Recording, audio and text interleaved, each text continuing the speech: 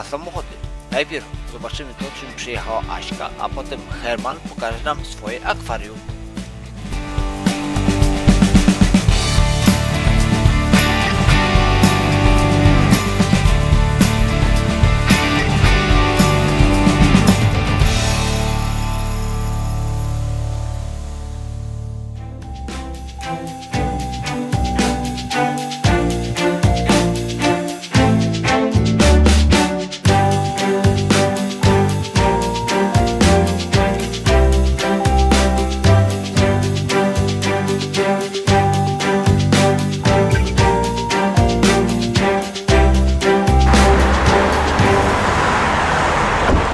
Dobry. Dzień dobry. Chciałem powiedzieć, że dzisiaj nie należą mi się baty, Nie będzie packa na nie macka? będzie paski na maska, ponieważ, O, masz. albowiem, gdyż przyniosłem kapelusz. Och, jej już cudownie nareszcie. I nawet- Jak ja o tym marzyłam. I nawet zdejmę czapkę. Zdaj mi czapkę, gdyż albowiem, proszę Państwa, to jest wiekopomna chwila. To jest, e, bardzo się cieszę, że masz rec i że wszystko się nagrywa, ponieważ pierwszy, uwaga, pierwszy raz, Ty to już masz go na sobie często, a ja pierwszy raz zakładam. Ale czad. Tu po Hermanie jest zdecydowanie, bo jest duży.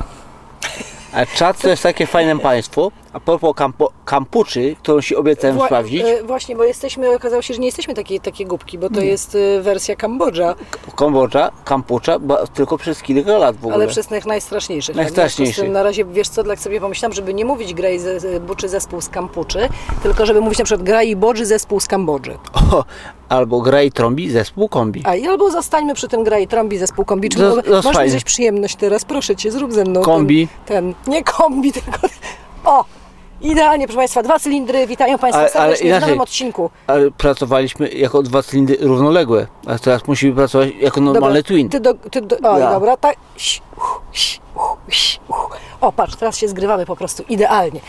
Czy może pani powiedzieć zatem, skoro jest tak zimno, czy może się pani spiąć jakoś Spinam się, i powiedzieć coś o tym dżuku, czyli joke'u? Bo to jest Bo to właśnie... jest dżuk, dżuk czyli joke.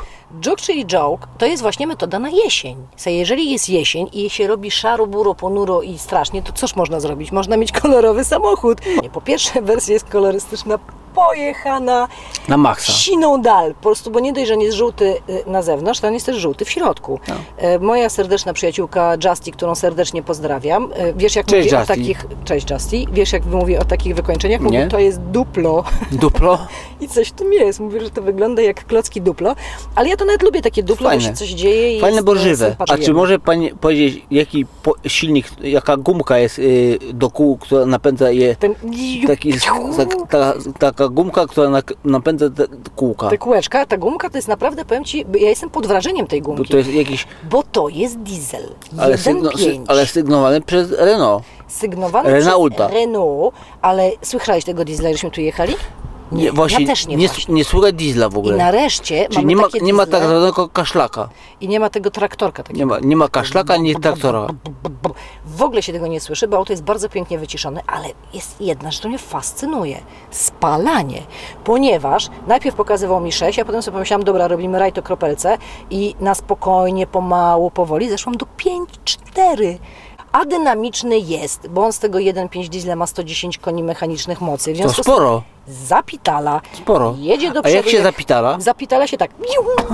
Tak się zapitala. To fajnie, to szybko. Szybko i dynamicznie, jak mi się podoba ten cylinder, po prostu ja cię kręcę. Będę sobie jest- go mogła czasem wypożyczyć na jakieś imprezy? Czasem ci pożyczymy, a Bardzo to mi jest, się a podoba. zapytasz Hermana, bo to jest cylinder dla ciebie, to od Ziła. Od Ziła? No, Cylinder bo duży. A no tak, bo ten, wiesz, ten, przepraszam, muszę przeprosić e, Hermana, że mu zabieram cylinder.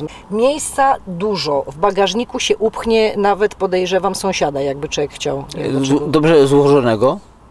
No nie będziemy próbować. Nie, nie. Słuchaj, a propos sąsiada, chciałam Ci powiedzieć jedną rzecz, e, dosyć śmieszną, ponieważ znaleźliśmy się w miejscu, które jest bardzo, bardzo blisko miejsca, w którym my spędziliśmy 20 lat naszego życia. A zatem, jak się pani, musimy tam podjechać.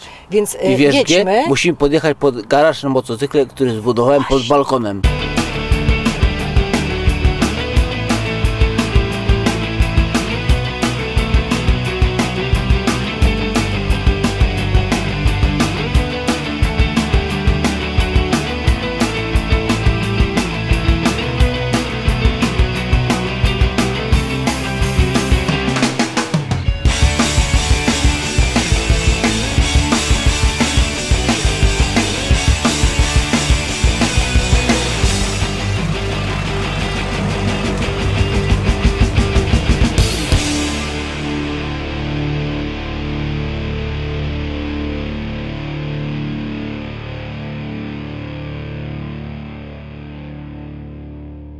Własno prawie że ręcznie. Własno prawie ręcznie. tam pana Gienia czy Henia. Pana Ginia Boraża postawiłem war- w- e, garaż na motocyklu pod własnym Nie, bo, tarasem. kochani, bo nie było innego wyjścia, bo Nie. sytuacja była taka, że ja miałam wtedy Simpsona, Macek miał wtedy e, Honda CZ-kę, Fur. CZ-kę najpierw. E, tak, ale jak ja już miałam Simpsona, to ty miałeś Furkę. Hondę, Ford, furkę. z- zwaną furką, bo to Honda CB750F, czyli Four. Bardzo fajny motor zresztą. Bardzo fajny, zwana furką.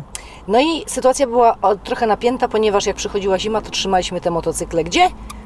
W pokojach. W pokojach. No i, to było trochę wtedy, słabe. a wtedy mama powiedziała, że w pokojach to już jest zabud- postawimy ścianę pod balkonem Ale i zrobimy to garaż. powiedziała? Jak Potem- po raz 357 nasz sąsiad z czwartego piętra zadzwonił po policję.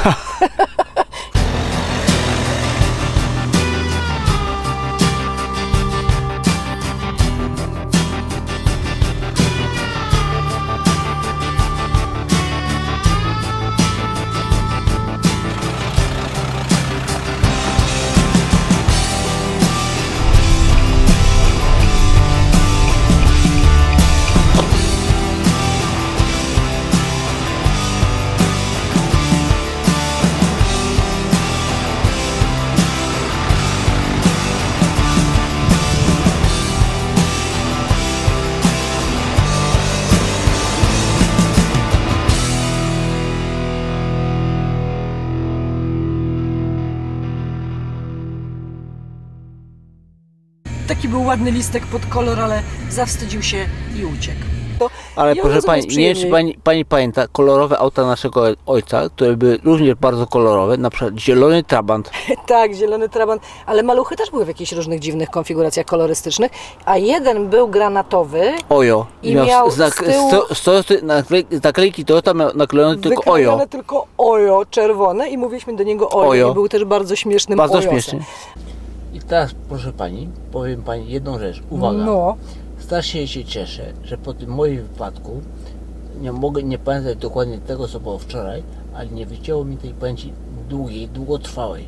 tak, to jest genialne, Genialne. naprawdę. Powiem Ci, że ja myślę, że człowiek, który nie ma historii swojej, To nie, ma, nie ma korzeni, nie ma takich Ja e, mogę- bagażu wspomnień, to, to, to Nie, to właściwie nie tak jakby go nie było. Ja właśnie mogę nie pamiętać dokładnie, co było wczoraj, więc zapisuję sobie wszystko w telefonie, a pamiętam dokładnie, że przyjechaliśmy tu jadąc do szkoły numer 305 koło domu Krzyśka Gniewosza, zwanego Chrisem.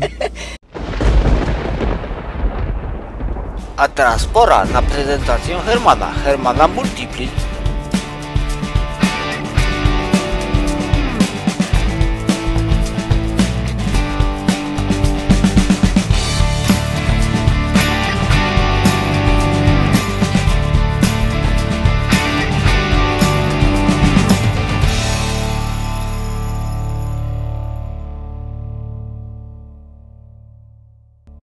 Czy może Pan dokładnie powiedzieć mi, skąd wynika ta miłość do kiosków w ruchu? Proszę pana, y, sprawa jest prosta. Nieprawda. Sprawa jest prosta. Y, jest to najodważniejszy projekt samochodowy wszechczasów, który od momentu wprowadzenia prototypu chyba nie, z, nie zmienił się wcale, więc to jest prototyp, który momentalnie bez żadnych poprawek został wprowadzony do produkcji. Bo trzeba było, było być rzeczywiście odważnym, żeby dorobić cztery koła do kiosku ruchu. Ja z tym kioskiem ruchu, proszę pana, to już y, nie mogę wytrzymać, to jest tak nudne to, co pan mówi. To, to, wie pan co, bardziej się podobało porównanie, y, Zamiast kiosku ruchu może być pudło po telewizorze. wchrzanił się pan tu ze słowem. Chcę powiedzieć, że moi znajomi nazwali go inaczej i to mi się podoba, to porównanie. To jest skrzyżowanie pontonu z akwarium. Z akwarium zgodzę się, ale dlaczego pontonu? Bo to, co jest na dole w pierwszej wersji Multipli, jest takim pompowanym jakby pontonikiem, na który nasadzono akwarium, bo jak widzisz, powierzchnia szyb jest y, tak duża, jak w jakimś, można powiedzieć, autobusie. Autobusie całkiem dobrej relacji. I jakości. I, Do ceny. Relacji jakości do o, ceny. to się może zgodzić. Znaczy musi być bardzo tani. Y, samochód, No. ten, No. Żeby była dobra jakość do ceny. jest zadziwiająco tani. y, jego jakość przewyższa na pewno cenę. Aż tak? Tak. Tak pan twierdzi? Twierdzę tak, gdyż zajeździłem wiele samochodów już A Multipla, jak widzisz, cały czas jest z nami. W środku jest taki sam, nic się nie zmieniło. Wnętrze jest identyczne, z zewnątrz rzeczywiście jest to jakby kontynuacja linii już bardziej Fiat Stilo, czyli... I ta prześmieszna koncepcja, żeby pan zamiast deski rozdzielczej przed sobą miał jakiś zestaw kontrolek. Proszę pana, zestaw kon... to, to jest bardzo fajne. tu. Tutaj przede mną Tak. jest, proszę pana, A, bagażnik. ba- a bagażnik? Tu jest bagażnik, tam jest drugi bagażnik obok pana. Pod panem, tam pod jest trzeci bagażnik. Nad panem tutaj czwarty bagażnik i nade mną tutaj piąty bagażnik. Poza Czyli tym pod pana multipla składa się- szósty bagażnik. Czyli multipla składa się z bagażników.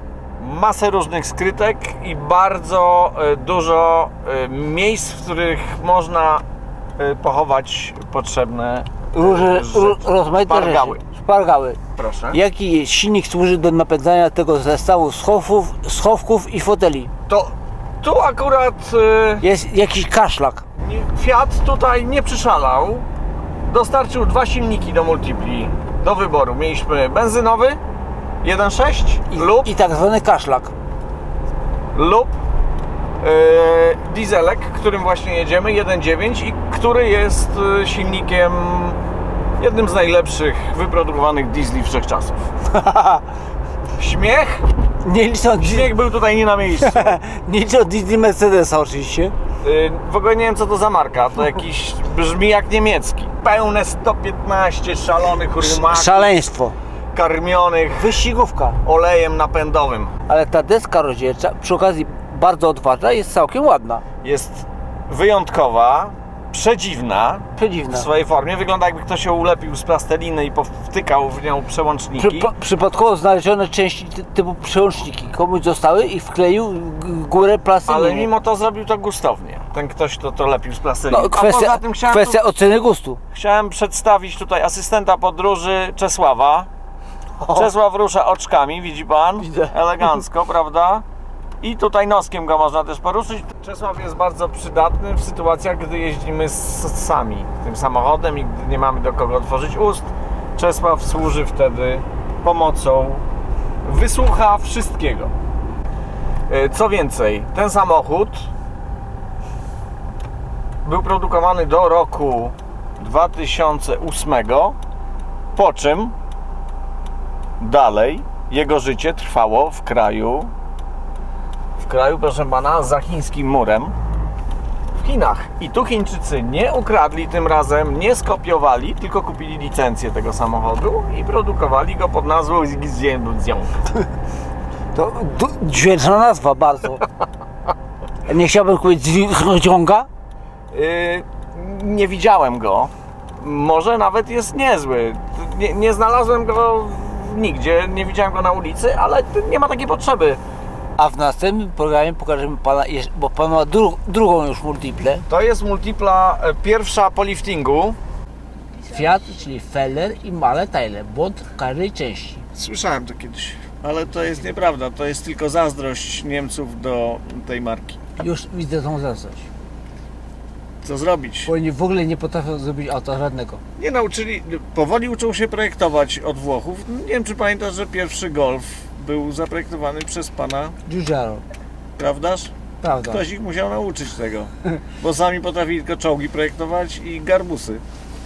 Ale to mi wychodzi nieźle. Czołgi? I garbusy. No to raz im wyszło. Co za odważna teoria.